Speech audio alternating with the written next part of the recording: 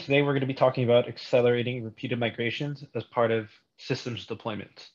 Um, that can include something as simple as a database or setting up a new, a new CRM system. Um, it really is sort of uh, part of, you know, uh, th things that we do every day here at Clover, uh, mostly migrations. And I'm sure some of you um, have had your own issues. And uh, today we're going to sort of provide a step-by-step -step guide on how to, you know, sort of uh, think about migrations in general and how to create repeatable processes that can help us in the future um, to get things done much more quickly. With that, let's start. So real simple data migrations is the process of taking data from an original source system and pushing it to a target system. Um, it can often take weeks, months, or even years to complete. Um, if any of you have done migrations to things like Workday um, or you know huge sort of CRM migration, uh, that can take quite a while, right? And it's because it's usually done in parallel to target system implementation. So we're identifying a switch to a new system. Uh, CRM is, is, a good example in general. Um, and we you know, have decided, hey, we're, we're going to go ahead and, and, go with this solution or this vendor. Uh, and now we have to figure out how to push all of our old data uh, to this new target system, right? it requires an intricate knowledge of both the source. So think of years and years of historical data uh, on a single system, right, in your organization, and the target where you're potentially going to use, right? Um, and you know, it's kind of sort of difficult to figure out what that target looks like if you've never actually worked with it yourself. So just some things to consider while you're going through that process. Data migrations in general start with a project, and somewhere along the way, we'll have the first data seen uh, by a client in the new system, right? About halfway through, after we've sort of planned, uh, targeted, picked the vendor, um, and plan this all out, uh, we can finally extract and validate data, right? it usually involves analysis, extraction, validation of that data, right? So, you know, if we put garbage into this new system, we're going to get garbage out of it. Cleansing, loading, reconciliation, making sure that everything is as it was before in, in, in the previous system or as relatively well as we can do that as well. Um, and this is sort of your traditional migration, just a single system to system implementation, uh, nothing too crazy. But the idea here and sort of the whole point of this webinar is we'd like to provide sort of a framework for this to be done um, in the future, right? So we provide what are essentially called accelerators. The accelerator concept is the idea that we're able to get data into a client system as soon as possible, so sooner on the first try. And throughout that process, we're going to create an accelerator that will then refine to extend uh, to other parts of the migration process, therefore making future implementations and future migrations much easier uh, from both, uh, you know, us as an implementer, right, or as maybe a consulting consultancy, and um, for our customers as well. So some challenges that typically come up in data migration in general. Um, a lot of sort of traditional legacy systems have relied on semi-manual data entry, so think of validations done in Excel macros and VLOOKUPs, um, just sort of uh, inconclusive or invalidated data. Uh, and it's difficult to scale. These migration uh, methods uh, are usually scaled just by hiring more consultants for more people to do more mapping, more discovery, um, you know, more uh, sort of domain expertise. And they're often very slow. Uh, this is mostly due to communication overhead between client um, in consultancy, uh, implement uh, people who are implementing the actual solution, uh, and just latencies between that. And it's often to errors. So some migrated data may not be possible to fix after migration. You know, there is that possibility that our old systems do have garbage in them. What do we do with that data, right? It's, you know, a sort of conundrum, if you will. Uh, and I'm sure some of you have, have experienced this as well. And this is all assuming the optimistic approach to migration hoping you know that there's no need to rerun this whole process at some point if we somehow failed. Um, some common risks are you know just sort of causes of these issues. Uh, our source data has undergone several changes throughout its lifetime. So, you know, even if we have, you know, 100 consultants looking at this, there's always going to be continuous discovery and correction uh, as that system has sort of developed or iterated there's misaligned and unrealistic expectations from the client side. Um, you know, sometimes these migrations are expected to solve everything in a business, um, but including poor data quality issues. Um, but you know, I guess in some ways, the migration is our opportunity to try to correct these as they come through, right? Uh, so you have to just think of that and have that as a consideration as well. Often there's an underestimated uh, uh, nature to the complexity importance of the migration. We're mostly thinking sort of macro scale, right? We're thinking about system and process configuration, but the actual sort of boots on the ground, um, you know, mapping these different systems out um, and, you know, field to field, making sure everything matches up um, is really quite complex and in a lot of ways harrowing for most uh, businesses. The expectation is, again, to fully successfully migrate on a first attempt, but there are often circumstances that cannot be mitigated. So these are just things to keep in mind, to keep realistic expectations, to make sure that we're all on the same page that through this, you know, traditionally very tough process. Uh, and that's why we here at Clover have worked with and within companies to develop accelerators. Accelerators themselves can take, um, you know, things that typically take weeks, months, or years, and trim down on those wasted efforts. The repetitive, tedious tasks are better dealt with in automated frameworks rather than having someone click a run button 100 times, right? The technical details of you know weighing down large scale projects, we really want our consultants and the people that are implementing these systems to focus on their area of expertise, right? We don't want to have to focus on data validation or um, sort of the the ones and zeros of building migration out. Our customers have very high expectations, so uh, we want to be able to provide them uh, with tangible results as soon as possible so that their feedback can then be uh, iterated on as well. Just simple things uh, that can really sort of save you time and money going through this whole process. Uh, the whole concept of an accelerator is creating a baseline migration solution, right? Get something simple down first, right? Just system A to system B. And then we work with our customers to fit their specific needs, right? Around data quality issues, around reporting, around what how they want this to function as their ideal data scenario. We want to iterate on it to create a robust solution um, that we can then maybe reuse for the next client. Uh, but the most important thing is having tangible results ASAP that we can then iterate on as well. The accelerator itself um, is built using Clover DX as a data management platform. Uh, it's going to be able to connect to any sort of data system uh, and then push it out to that target system. So really sort of simple, but once we, I'll show you guys in a sec, the actual implementation of it uh, can be extended quite a bit. But Clover DX at the end enables you to build accelerators, which shorten the time of repeated migrations from weeks to mere days. Uh, and this is something that a lot of our clients have had success with in general, um, mostly in the consultancy space. Uh, they've used our tool to create repeatable migrations that they now, you know, sort of specialize in and are, in a lot of ways, um, business leaders or, or sort of uh, providers, leaders in the provider space of these migrations. Clover DX Management Platform allows you to collaboratively, collaboratively work on large data initiatives like a large migration. It allows you to create an enterprise data backbone to basically create your own ideal data scenario. Uh, so whether it's for you or a client, uh, you can go in there and say and talk to business people in general say, hey, you know, or technical people as well. Um, what does our ideal data scenario look like if we had to, you know, have a magic marker and make this work somehow? We're sort of able to be flexible and extendable enough to fit this sort of solution.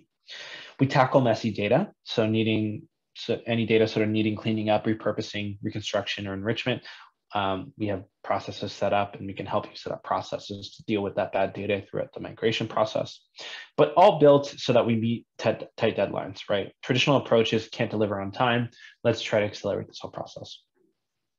With Clover, ultimately, we want all these things running on autopilot.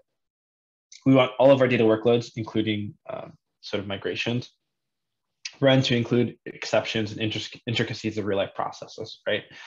So let's we're trying we're trying to migrate to a CRM application, right? Let's um, maybe there's faulty data somewhere along the way. We want to be able to automatically handle uh, this as it comes through, so it doesn't break the entire migration, right? Uh, we want to schedule jobs for automatic delivery. Uh, that can be to data warehouses, databases, data lakes, however you want to sort of look at it. And we want to be able to orchestrate external systems and tools by having uh, Clover essentially sit as the center of all of our different events, API calls, message queues, uh, data systems in general, This is the backbone of any uh, enterprise level data management solution. And really the power here is going to be with building our own templates and frameworks that we can actually allow non-developers to customize and reuse um, with proven implementations. Uh, again, we're sort of transforming and packaging our migration framework into the accelerator. Use case, super simple, source, source database to a target database. This is something that we implemented for our client ourselves uh, not too long ago. Uh, they needed to move something from system A to system B. Uh, and I'll show you guys how we're able to sort of uh, do this continuously um, in a way that allows us to uh, sort of reap the rewards of our hard work, right? Once you have a build a migration built in once, uh, it should be easier to do the second time around, right? So here's how it starts. We established a baseline process. So we use components within Clover DX um, to build an actual, uh, you know, workaround that will extract data from a source database and load it to a target database. Super simple, extract, load. Um, there wasn't much transformation here. So think of traditional ETL. It was pretty basic, just mapping one to one, right? Sort of a, a replication scenario. But we quickly identified the ability for us to iterate, right? So let's say we're running this um, process, right, on a thousand databases um, and you know tens of thousands of tables, right? Uh, we want to be able to have some sort of report for us to look at from a business user's perspective, right? Get an idea of where this data is going in our organization, how this migration is going about, right? So we iterated on this to have an extract, load, and reporting part to it. So that I can clearly say, hey, you know, here's the database, um, here's the table name, here's how many, uh, you know, uh, things were extracted during the duration, here's the load ID and how things are loaded. And this could go on and on, right? But with simple reporting purposes, uh, we have this sort of out here, right? So again, it gives an insight into what things are going on on the business side and allows us to extend it a little bit, right? So we said, hey, you know, this was uh, a specific implementation from Oracle on-prem to a MySQL cloud instance, right? But this client had an idea of, hey, we're going to need to do this for not just Oracle um, or MySQL, but also SQL Server and a couple Postgres, a couple different flavors of databases, right?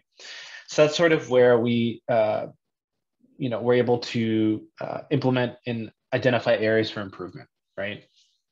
We're able to actually now, rather than explicitly extract the source DB and load it, we're actually adding a part that's going to go reach out to a database and identify the base it is and what sort of metadata to build for it, right?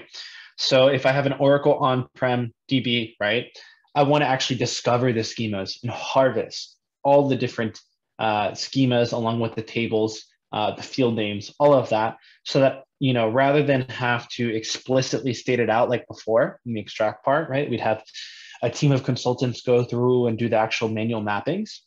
We've actually built a solution that will discover the schema of these databases, the flavor of the, of the DB that it's coming from, whether it's Postgres, um, MySQL, uh, Oracle, whatever it may be. And then it's going to build the artifacts that we need for this actual implementation, right? So it's going to say, hey, um, this is an Oracle DB. Here's the metadata type that this looks like here are all the different metadata files for all these different tables. Go ahead and extract and load and report from here on out. So really uh, a small piece, right, that it seems like, but it, it has completely changed how we run these migrations now. Now, rather than do, you know, have a team of consultants mapping these out uh, explicitly, we have basically a, a one-click run, hey, we're gonna discover the schema and harvest all the metadata files there for you. Uh, so huge difference in how they started implementing, uh, huge difference in cutting down the time for running this actual migration from a source DB to a target DB. And finally, we were able to repackage it for our next client, right? So now uh, we are actually able to, uh, based on configuration files, um, sort of decide uh, where each one of these databases, what they look like, uh, what flavor they are, and state from a configuration point of view, what tables we're interested in uh, in migrating, right? So maybe we don't want the whole system. We can just uh, type up a quick XML document that looks like this. Uh, and so this parse configuration part looks like this. or in the bottom here, we have different table names. We've created our own sort of, um, you know, configuration based uh, logic, if you will, that's going to be able to tell me, hey, we're going from Oracle to MySQL, grab these tables or grab every table except for these tables. You know, there's a few different ways to implement, but the idea here is this, this beginning part, this C, can be uh, sort of configured and uh, sort of uh, wired up, if you will, based on external data sources. It can be databases, it can be spreadsheets. You can have these config files sitting, you know, as XML documents like I have here, or it could have a, a, a DB table that lets me know exactly what I'm interested in, right? Lots of different possibilities, but at the end here, um, you know, it's going to create an, a continuous system where I'm parsing a configuration file. I'm reaching out to the schemas that I've been directed to go look at and inspect, building all the artifacts um, for extraction uh, all the sort of dynamic SQL queries that I can think of. And then it's going to actually run them and extract them, load them into a target DB, create that final report, and mark successes or failures along the way. So uh, at the end, really, this accelerator has cut down the time and process, uh, you know, again, from years, months to mere days, right? As far as, hey, let me change this config file. Uh, I want these five databases run from A to B and it's done, right? And to take it one step further, uh, we're actually able to share this entire process across our team and with our clients, right? So now we've built this nice little accelerator, right?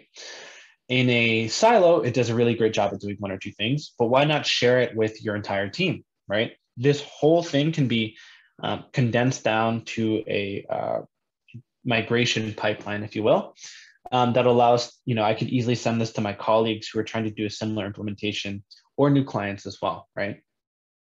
It's really a way for us to share the wealth of knowledge that we have created over this whole process. And then we can also extend and improve this as needed, right? So right now, I'm actually manually typing out configuration files, but this could be extended in a lot of ways to build the configuration files myself, right? So I could actually, you know, scan an entire DB, get the flavor, build the configuration files without having to explicitly say it, right?